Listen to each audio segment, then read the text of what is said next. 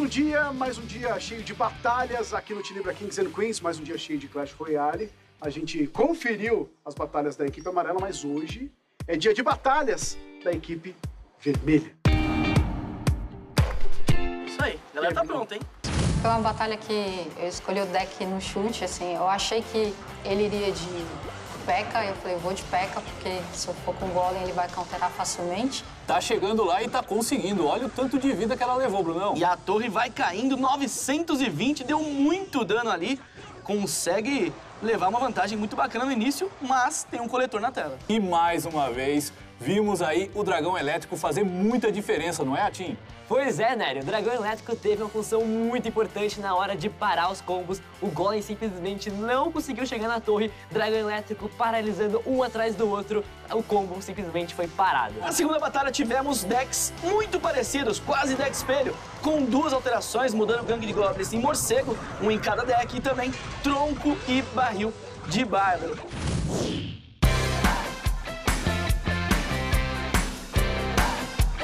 Chegou a hora do desafio do corredor aqui no Tilibra Kings and Queens. Os participantes terão que, em zigue-zague, pular por essas primeiras boias. Depois tem o próximo desafio, que é justamente o de empilhar todos esses copos, mas não será uma tarefa fácil, afinal terão que usar luvas. O outro integrante vai ter que ir para esse desafio aqui com a colher na boca, vai ter que levar todas as bolinhas brancas pro outro lado e trazer todas as laranjas. Chega uma das partes mais difíceis aí do nosso desafio do corredor, que é pegar as três bolas e, ó, ter que levar em zigue-zague pelos cores até o outro lado e entregar para um outro participante que terá a missão de acertar aquela cesta. Daí já passa a bola aqui pro Douglas, o Douglas que vai inverter as bolinhas, levar as bolinhas brancas lá. Fica fácil pegar as bolas, eu acho. Se é maior, acho que é mais fácil. maior, acho mais fácil caber as bolas.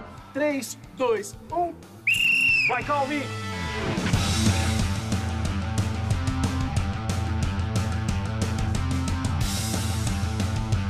Habilidade. Começa agora! Vai, vai, vai, vai!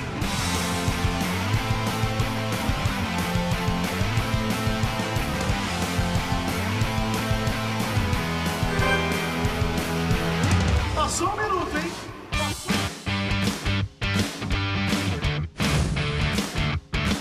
Já estamos de volta com o Tilibra Kings and Queens e agora o momento de Léo e Márcia se enfrentarem na nossa batalha entre a equipe vermelha.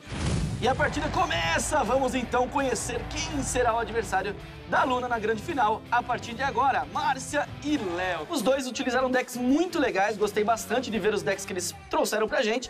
Decks modificados, morteiro com um P.E.K.K.A e um surpreendente Lava Round com dragão elétrico e bebê dragão, utilizando o mineiro também sem balão. Eu joguei com um deck de lava com mineiro. Eu tenho muita segurança jogando com esse deck. Então, eu já qui- quis usar esse logo de cara pra tentar quebrar um pouquinho.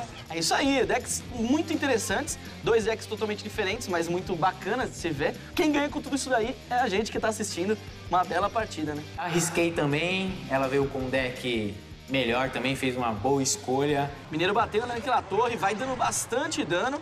Agora a princesinha focou nele. A bandida pode bater naquela torre, pode dar um dano ali importante.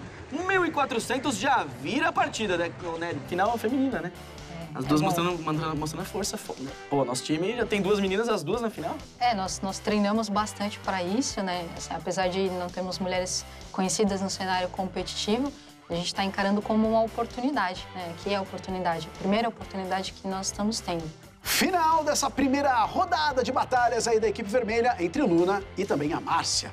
O que será que Bruno Clash vai dar de dicas para elas para essa etapa final? Lembrando que a vencedora tem o direito à escolha do ban na próxima rodada. Primeira partida da grande final. Chegou a hora, Luna contra Márcia, Nery. É, a tão aguardada final feminina. Olha só a mulherada, será que ela vai trazer? Elas vão trazer o me- os mesmos decks? Joguei contra a Lu na primeira partida, usando um deck diferente, um deck de Goblin Gigante. Ela me pegou muito desprevenida. É, não esperava um deck quando eu vi Goblin gigante vindo do fundo da Torre do Rei, eu desacreditei. 17 segundos só e eu acho que esse caçador já vai dar cabo do gigante, não vai ter como.